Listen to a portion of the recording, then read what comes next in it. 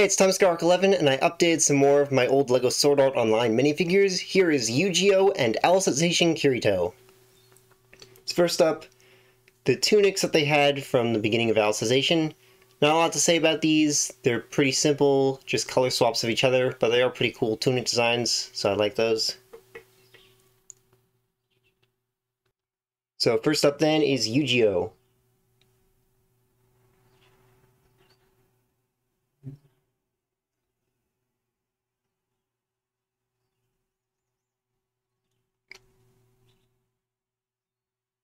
So his coat is also a fairly simple design, but I really like the look and color of it.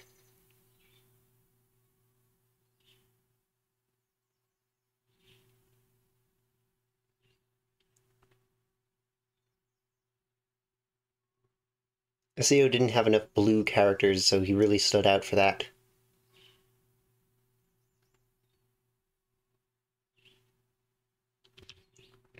I didn't change much with his face, but I did update his hair to have more detailed lining on it.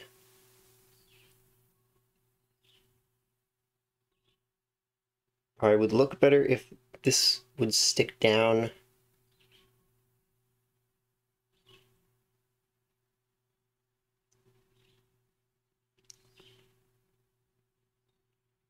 And the blue rose sword Probably one of my favorite swords in SAO. The only ones I can think of that I like better would be the Elucidator, and honestly, I can't think of anything else actually. So maybe my second favorite sword in SAO. Though as for the custom Lego sword of it, not the greatest because I couldn't get that icy detailing in the way I really wanted to. And next up, Kirito. The godfather of every single generic isekai protagonist for the last 10 years.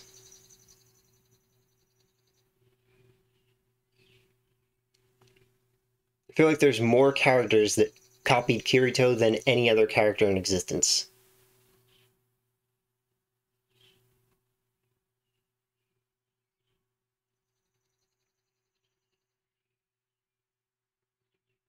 So this is one of my least favorite designs for him, actually. It's not bad at all. It's just kind of boring compared to all his other much cooler looking coats.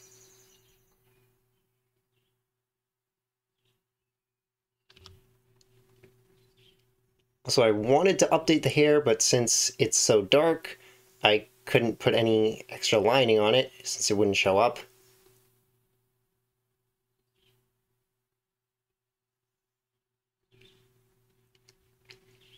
And the Night Sky Sword.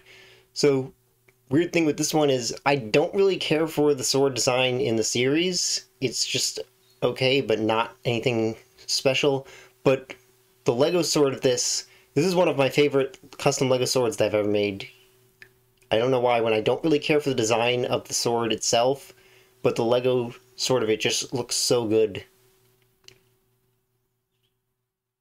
This one was both of these were made from katana pieces that were flattened out, straightened out, and then cut down to shape a little.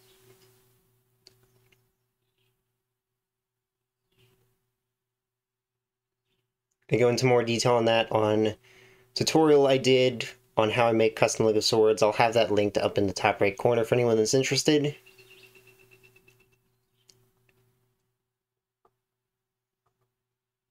And I've made a few other SAO and plenty of other anime figures. If you want to see those, those will be linked in the playlist up on screen here. If you watch the end, then comment Blossom Dance down below, and see you next time.